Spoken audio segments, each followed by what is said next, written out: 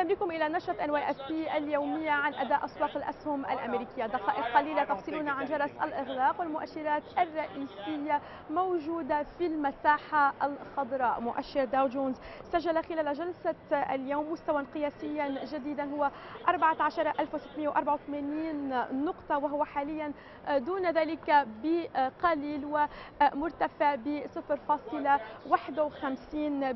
مؤشر ناسداك مرتفع أيضا ب 0.36% ومؤشر S&P مرتفع وب 0.42% ويعود هذا الأداء الإيجابي في المقام الأول إلى ارتفاع أسهم القطاع الصحي اسهم مثل هيومانا ويونايتد هيلث لخدمات التأمين الصحي. وقد ارتفعت أسهم هذا القطاع بعد أن أشارت التوقعات النهائية للمراكز المختصة ببرنامجي ميديكير وميديكيد للرعاية الصحية أشارت إلى نمو المبالغ التي يتم دفعها لشركات التأمين ب 3.3%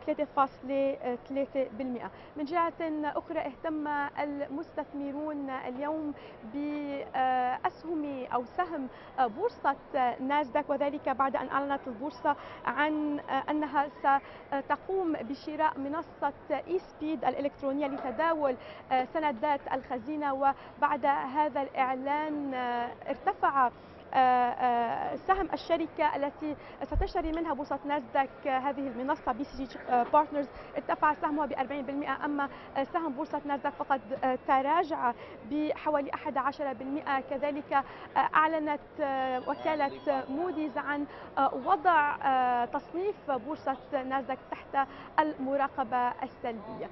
كذلك ساهم في دعم الأسهم الأمريكية اليوم بيانات إيجابية عن القطاع الصناعي. فقد أظهر تقرير اليوم تنامي طلبيات المصانع في الولايات المتحدة بأكثر من المتوقع خلال شهر فبراير وتحديدا ب 3% بدلا من 2.6% كما كان مرتقبا وبعد تراجع بنسبة 1% خلال شهر يناير. وبهذا نأتي إلى نهاية نشرتنا لليوم. نلقاكم في الغد إلى اللقاء.